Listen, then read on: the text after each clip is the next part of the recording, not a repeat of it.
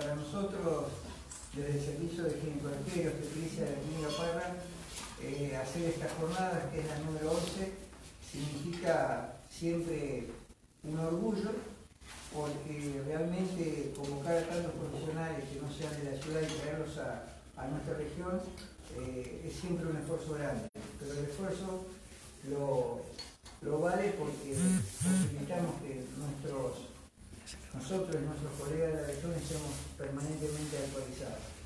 Yo siempre hago mención, y lo voy a seguir haciendo, que esto siempre es posible gracias al apoyo de la clínica, de los profesionales de servicio, pero fundamentalmente de, del alma mater de, esto, de esta jornada, que es el doctor Mario Curranón.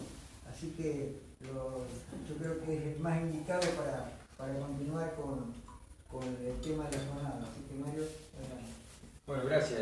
Por supuesto que también, retribuyendo un poco la, las palabras del doctor Parra, este, uno siente más allá de, estar un poquito al frente de esto es porque tiene la libertad total como para desempeñarse y poder este, organizar este tipo de, actividades. Y para nosotros, sinceramente es un orgullo, ya van 11 años que estamos organizando estas jornadas, uno nota que durante este, la medida que comienza a organizarlo, ya las jornadas han sido un, hito para, los profesionales de la zona que están esperando o preguntando cuándo, se realicen y cuando uno invita a colegas, que generalmente eh, son colegas por los cuales vamos creando lazos de amistad en, congresos, en actividades científicas, se está identificada la jornada y también no dudan no solo no venir, sino en ofrecernos este, sus charlas este, para, poder acompañar.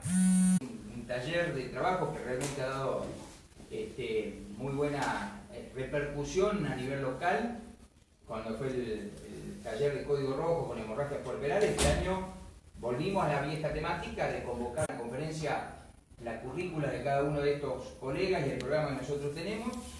Y bueno, sí, hemos constituido un programa bastante apretado con 10 charlas cargo de ocho profesionales. Son profesionales en general de la zona, vienen preferentemente de la ciudad de Rosario. Viene una licenciada también a hablar de una patología como el piso pelviano de la ciudad de Córdoba, licenciada este, y kinesióloga. Y también sin conocernos, porque fue por intermedio de, profesionales acá de la ciudad, eh, nos ha puesto eh, es presidenta y miembro activa de la Sociedad Latinoamericana de Piso Perliano y han sido las jornadas auspiciadas eh, Latinoamérica también, lo cual para nosotros ya este, trasciende más allá del simple hecho o el mero hecho de, una actividad este, científica local. Eh, por otro lado, también vamos a estar acompañados por la doctora Mabel Martino, la doctora Graciela Ortiz de la Ciudad de Rosario, son dos conocidas ginecólogas también a nivel nacional e internacional. Eh, la doctora Mabel Martínez, van a ver en, la currícula, este, es miembro consultor a nivel climaterio, a nivel internacional. Y la doctora Graciela Ortiz también tiene mucho trabajo este, desarrollado y es jefa de servicio en el Hospital Provincial de, Rosario de, este, eh, ginecología infanto juvenil. Y va a desarrollar un tema de trascendencia y de actualidad como es abuso sexual infantil, ya, desde el punto de vista ginecológico, cómo tiene que actuar el ginecólogo ante estas este, eventualidades. Eh, vamos a estar acompañados también por el doctor Jorge Chávez de la ciudad de Paraná, que va a hablar de osteoporosis. La doctora Mabel Martino va a hablar de climaterio y de una de las patologías que también este, son, cada vez adquieren más relevancia en la ciudad, como es la osteopenia, que es cuando el hueso comienza a debilitarse. Y el cierre de la jornada va a estar hecho por el equipo de Medigen. Medigen es un equipo de médicos ginecólogos, ecografistas y genetistas de la ciudad de Rosario, con también un tema de mucha trascendencia como es este, mucha actualidad, como es este, la identificación de ADN fetal en sangre materna. Eh, ustedes saben que hoy por hoy con estudios hechos en la mamá podemos identificar algunas patologías este, también en, del, bebé simplemente con un análisis de sangre materno.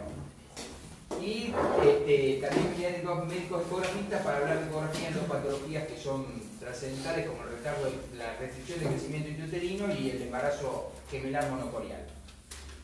Todo este esfuerzo que se hace desde la clínica con el apoyo, fundamentalmente desde el punto de vista también económico y con algunas empresas que, este, y laboratorios que, que colaboran para esto, nos permite, como todos los años, que esta jornada sea totalmente gratuita para quienes se inscriben. Las inscripciones se hacen en el mismo lugar, en el auditorio de OSDE, que también como todos los años OSDE colabora con nosotros en forma este, desinteresada en, darnos el auditorio. Eh, las inscripciones comienzan a las 8 y media de la mañana y a partir de las 9 vamos a tratar de ser muy puntuales con el horario porque como verán tenemos una este, agenda muy compacta de muchas charlas que incluye también el lunch, como todos los años, el café break, entonces es muy raro, como decimos todos los años, que alguna actividad científica sea gratuita hoy por hoy, pero lo que pretendemos es que los médicos de la ciudad y de la región tengan al alcance este, profesionales este, de, jerarquía nacional e internacional que lo puedan hacer sin tener costos, más allá de perder el día de trabajo, que no se pierde, se ganan los conocimientos como lo vamos a ganar todos. Así que bueno, es un poquitito el panorama de, de esta jornada que, bueno, esperamos que nos acompañen también en la prensa si quieren darse una vueltita el, viernes a partir de las 8 y media, 9 de la mañana y durante todo el día vamos a estar este, trabajando y escuchando estos disertantes.